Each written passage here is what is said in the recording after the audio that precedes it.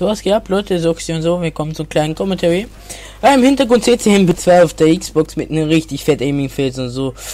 Ah, ist eine schöne Nuke gewesen. Auf der Map ähm, Estate, glaube ich, heißt die. Bodenangriff.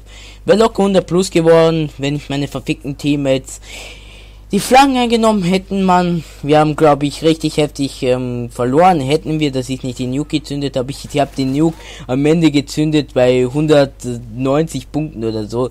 Ihr wisst gar nicht, was ich da für ein Grinsen drin gehabt habe in mein Gesicht, Alter. Und ihr wisst, ich habe so angefangen zu lachen. Äh, die Typen, man, die haben so abgefuckt, die haben getubt, die haben das, die haben gesniped mit der Malvisier und Aufsatz pro Magazinerweiterung, so ein Kack einfach all, alle Kacke da. Und hier bin ich kurz ähm, hochgegangen, da zu B hoch, weil ich ähm, die Waffe nachladen wollte. Weil die Waffe dauert richtig lang, habe ich ja auch vergessen zu sagen.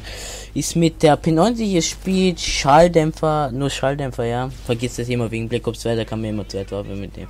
Ähm, zwei Waffenaufsätze mitnehmen.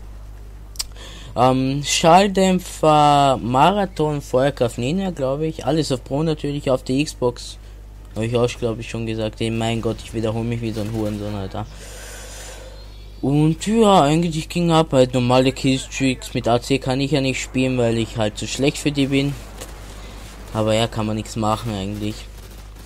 Und zweit war fertig die Akimbo. Wieso die Akimbo? Keine Ahnung.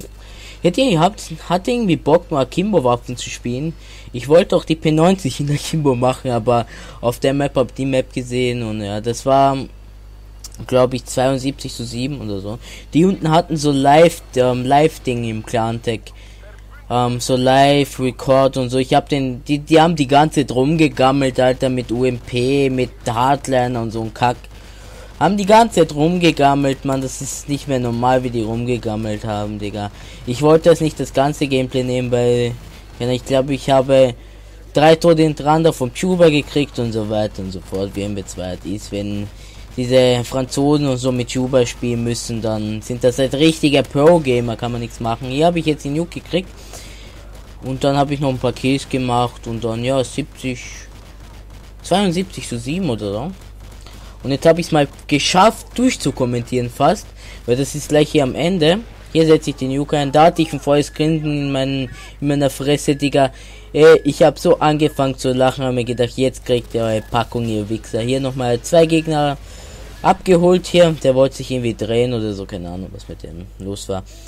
Und ja, das war es eigentlich schon mit dem Gameplay. Und ja, über ein Like und so würde ich mich freuen. Und ja, dann bis zum nächsten Kommentar. Also, yo, Chosen, euer Socki, euer Socki, Mann, ohne Witz, ich bin so ein Wappen, Digga. Chosen.